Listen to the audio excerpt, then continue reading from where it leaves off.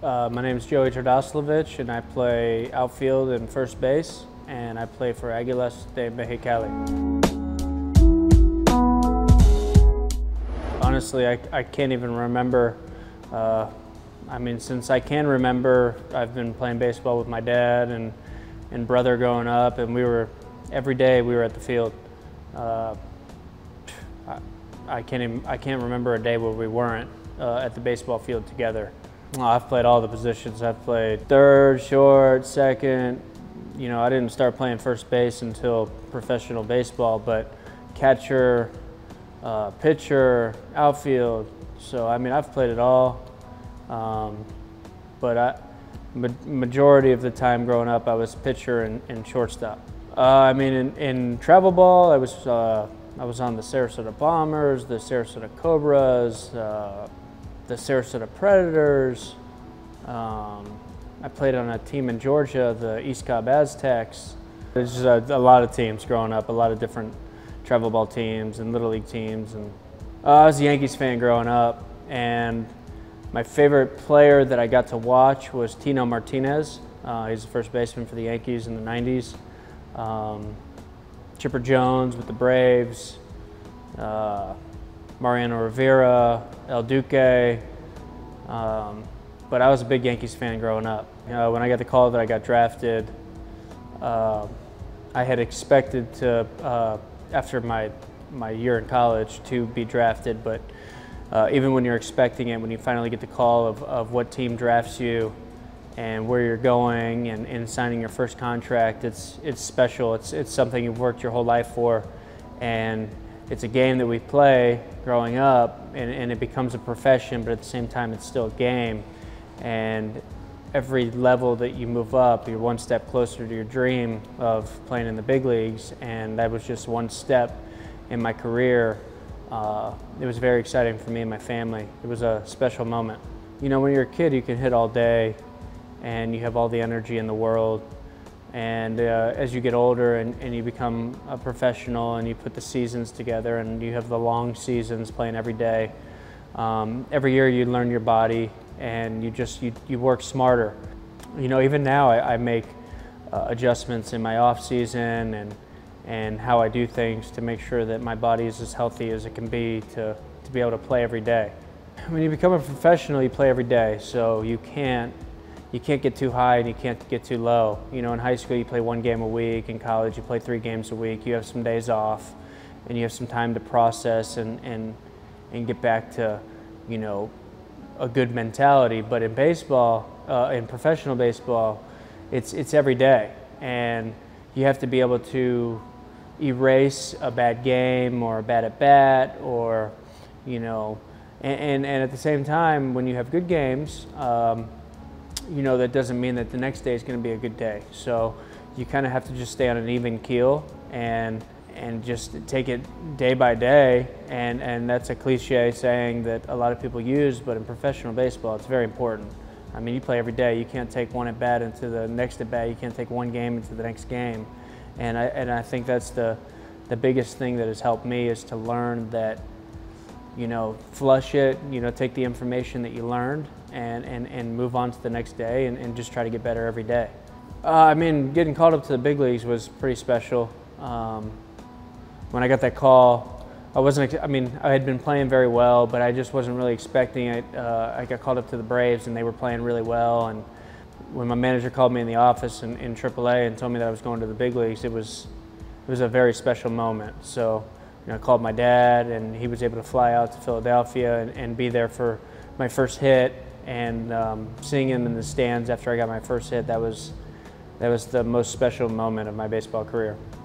Uh, when I was with the Braves after that season in, in, the big leagues, they, they wanted me to go play in the Dominican Republic uh, and, and basically chose that, that the Toros for me to go play there.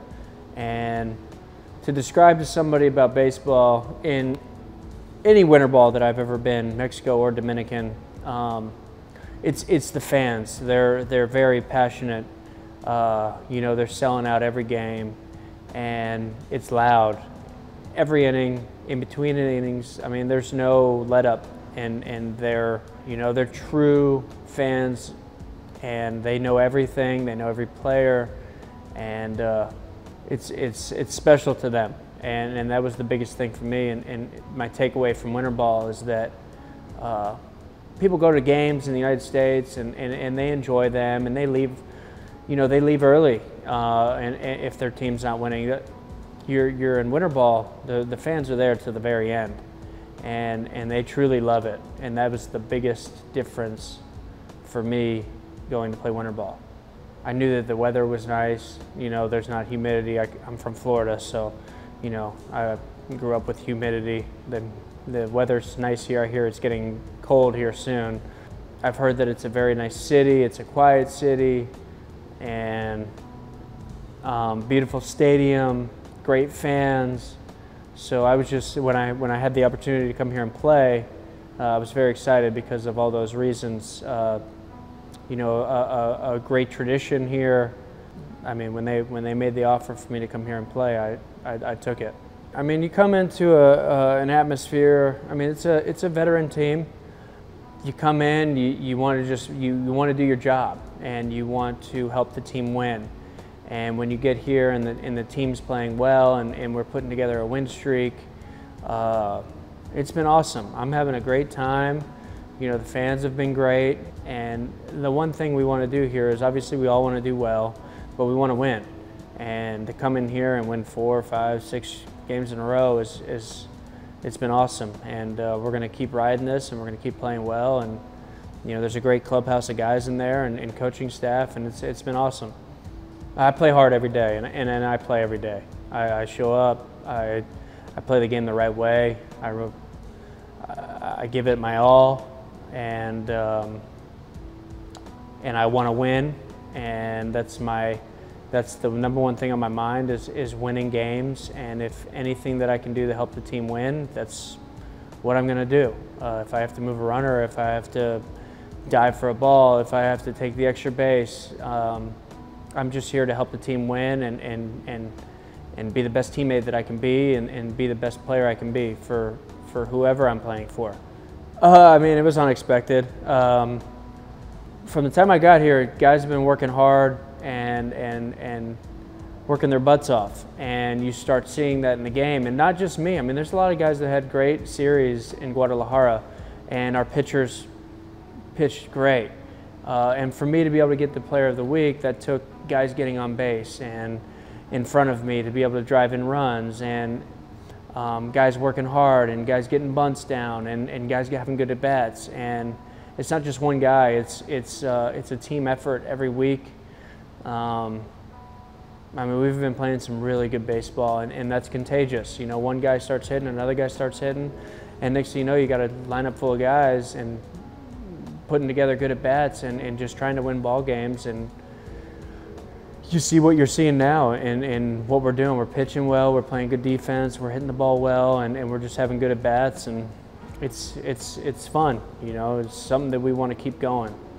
Uh, I'm just excited to be here and, and excited to, to play as hard as I can every day for, for the fans and my teammates uh, every day. And we look forward to, to the support of the fans um, for this final push to make the playoffs and, and play deep into the playoffs. And, you know, we need the fans just as, as much as they need us. So I'm excited to play, play my best that I can for the fans and, and, and work as hard as I can to be the best player I can for Mexicali.